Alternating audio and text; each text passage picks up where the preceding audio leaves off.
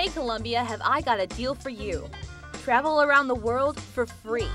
Chicago has many important landmarks, but few as worldly as Tribune Tower.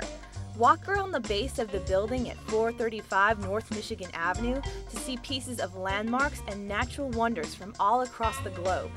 Fragments of the Great Pyramid and the Moon are among 136 sites represented. See them all for free. For more information about this deal and other ways to cheapskate around the city, go to frequencytelevision.com.